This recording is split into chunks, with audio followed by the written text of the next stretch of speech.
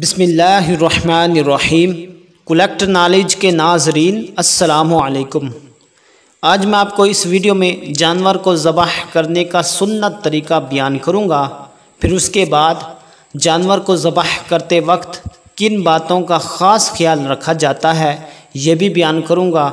اور پھر اس کے بعد جانور کو ذبح کرنے کی کیا شرائط ہیں، یہ تین باتیں بتاؤں گا آپ کو۔ آپ اس ویڈیو کو مکمل سنیے گا اور ان باتوں کو لکھ بھی لیجیے گا۔ ناظرین، جانور کو سنت کے مطابق ذبح کرنے کا طریقہ یہ ہے کہ جس جانور کو ذبح کرنا ہوتا ہے، اس کو بائیں پہلو پر قبلہ کی طرف لٹایا جاتا ہے۔ پھر اس کے بعد تیز دھار آلہ سے اس کو ذبح کیا جاتا ہے اور جب ذبح کرتے ہیں تو اس وقت بسم اللہ اللہ اکبر پڑھتے ہیں۔ ناظرین، جب ذبح کرتے ہیں تو جن باتوں کا خاص خیال رکھا جاتا ہے، ان میں سے یہ ہے کہ جس آلہ سے جاندار کو ذبح کیا جاتا ہے، یہ آلہ تیز ہونا چاہیے تاکہ جاندار کو تکلیف نہ ہو۔ نمبر ون، جاندار کی شارغ اور سانس کی نالی کٹنی چاہیے۔ نمبر ٹو، اس کے بعد جاندار کو ٹھنڈا ہونے کا انتظار کرنا چاہیے۔ یہاں ایک بات یہ بھی بتاتا چلوں کہ جاندار کو ذبح کرنے میں چار نالیاں کاٹی جاتی ہیں۔ نمبر ون، خوراک کی نالی۔ نمبر ٹو، سانس کی نالی۔ نمبر تھری دائیں اور بائیں خون کی دو نالیاں۔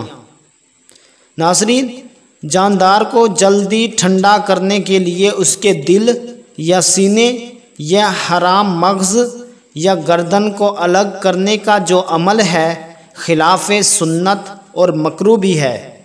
حضرت انس رضی اللہ تعالیٰ عنہ سے روایت ہے، نبی کریم صلی اللہ علیہ وآلہ وسلم نے سینگوں والے دو چت کبرے مینڈھوں کی قربانی کی۔ آپ صلی اللہ علیہ وآلہ وسلم نے ان دونوں کو اپنے ہاتھوں سے ذبح فرمایا اور ذبح کرتے وقت بسم اللہ اللہ اکبر پڑھا اور ان کے پہلو پر اپنا قدم مبارک رکھا۔ تو ناظرین، جانور کو ذبح کرنے کی جو شرائط ہیں، ان میں سے یہ ہے کہ جانور کو ذبح کرنے والے کا مسلمان ہونا ضروری ہے۔ بالغ ہونا ضروری نہیں۔ ہاں البتہ نا سمجھ نہ ہو۔ پھر ناظرین، ذبح کرنے والا بسم اللہ اللہ اکبر ضرور پڑھے۔ اگر جان بوجھ کر تسمیہ نہ پڑی تو جانور کا گوشت حلال نہیں ہوگا۔ کیونکہ قرآن مجید میں اللہ تعالیٰ نے فرمایا، جس کا ترجمہ یہ ہے، اور اس جانور سے نہ کھاؤ، جس پر اللہ تعالیٰ کا نام نہ لیا گیا ہو، بے شک یہ گناہ ہے۔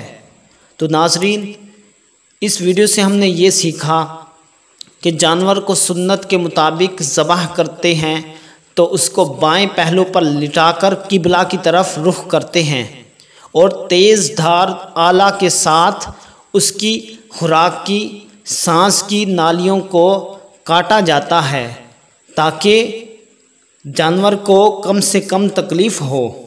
اور ہم نے یہ بھی سیکھا کہ جانور کو ذبح کرنے کی جو شرائط ہیں، ان میں سے یہ ہے کہ مسلمان ہونا چاہیے اور سمجھدار ہونا چاہیے۔ اور ذبح کرتے وقت بسم اللہ اللہ اکبر ضرور پڑھے۔ امید کرتا ہوں آپ کو یہ ویڈیو اور معلومات ضرور پسند آئے گی۔